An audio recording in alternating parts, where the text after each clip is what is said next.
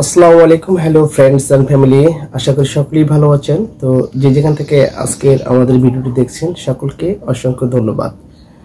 তো আজকে আমরা আলোচনা করব গার্মেন্টসের প্রোডাক্ট সেফটি কি। তো প্রোডাক্ট সেফটি আমরা কীভাবে কন্ট্রোল করে থাকি আর এই প্রোডাক্ট সেফটিটি কোন কোন সেকশনে আমরা পরিচালনা করে থাকি এবং কয়টি সেকশনের জন্য ম্যান্ডেটরি আমাদের এই প্রোডাক্ট সেফটির রুলসগুলো টার্মস অ্যান্ড কন্ডিশনগুলো আমাকে মেনে চলতে হবে।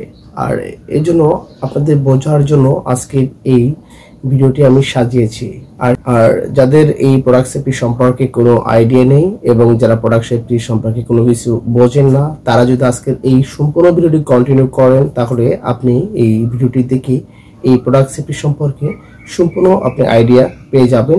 এবং সেফটিটা কি জন্য আমরা মেনটেন করি, আর কি কি আমাদেরকে মেনটেন করতে হয়, আর এই প্রোডাক্ট সেফটি কেন আমরা এই গার্মেন্টস সেক্টরে আমরা ইউজ করে থাকি। তো চলুন, আজকের এই সম্পূর্ণ ভিডিওটি যদি আমরা কন্টিনিউ করি, তো আশা করি আপনারা এই প্রোডাক্ট সেফটি সম্পর্কে সম্পূর্ণ আইডিয়া এবং ধারণাটা আপনারা পেয়ে যাবেন। তো চলুন, দেখে নেওয়া যাক। প্রোডাক্ট সেফটি কি? প্রোডাক্ট সেফটি কি প্রোডাক্ট সেফটি বা পণ্যর নিরাপত্তা নিশ্চিত করতে বোঝানো হয়। উৎপাদন প্রক্রিয়ার প্রতিটি পর্যায়ে পণ্যের নিরাপত্তা নিশ্চিত করা। আরও সহজভাবে বলা যায়, উৎপাদিত পণ্যর নিরাপত্তা নিশ্চিতকরণই হচ্ছে প্রোডাক্ট সেফটি গার্মেন্টস কারখানায় যেখান থেকে ফেব্রিক গ্রহণ করা শুরু হলো সেখান থেকে শুরু করে গার্মেন্টস, কার্টুন করে কাস্টমার কাছে পৌঁছানো পর্যন্ত মাঝখানে যতগুলো স্টেজ আছে, তার প্রতিটি স্টেজে যে গার্মেন্টস বানানোর সময় নিরাপত্তা নিশ্চিত করা হয়, তা যথাযথভাবে নিশ্চিত করা হচ্ছে গার্মেন্টস কারখানার প্রোডাক্ট সেফটি প্রোডাক্ট সেফটি বা প্রোডাক্ট সেফটির সাথে জড়িত সকল বিষয়ে সবসময় ক্রিটিক্যাল ইস্যু প্রোডাক্ট সেফটি নিশ্চিত করা বলতে নিম্নোক্ত বিষয়গুলোর নিরাপত্তা বোঝানো হয়।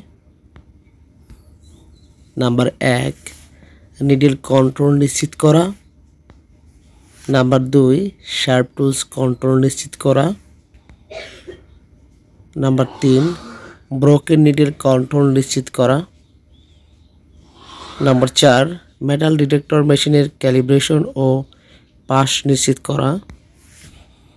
পাঁচ snap button neck stress gauge control নিশ্চিত করা।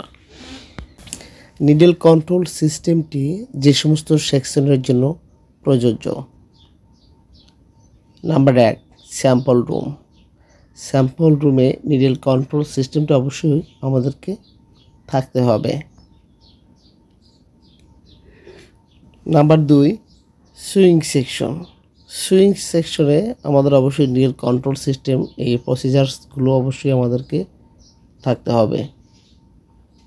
নাম্বার তিন এম্ব্রয়ডারি সেকশন নাম্বার চার ফিনিশিং এবং প্যাকিং সেকশন মূলত এই চারটি সেকশনে নিডেল কন্ট্রোল সিস্টেমটি পরিচালিত থাকতে হবে। যে সমস্ত নিডেল ব্যবহার করা হচ্ছে সেগুলো কন্ট্রোলিং নিশ্চিত করার জন্য কতগুলো চেক পয়েন্ট নিশ্চিত করার প্রয়োজন। যেমন নাম্বার এক, এটা নিশ্চিত করতে হবে কারখানায় সংশ্লিষ্ট সকল জায়গায় অবশ্যই নিডের কন্ট্রোল পলিসি আছে কিনা এবং এই বিষয়ে সকলে অবহিত আছে কিনা। সাথে এটাও নিশ্চিত করতে হবে যে নিডেল কন্ট্রোল নিশ্চিত করার জন্য একটি set up needle control room এবং ট্রেনিং প্রাপ্ত নিডেল কন্ট্রোলার ম্যান ও ওম্যান আছে কিনা? অবশ্যই এই নিডেল কন্ট্রোলের জন্য আমাদের নিডেল কন্ট্রোল রুম এবং এখানে একজন মেয়ে বা ছেলে দ্বারা আমরা এই নিডেল আমরা কন্ট্রোল করে থাকি এবং যখন নিডেল ভেঙে যায় বা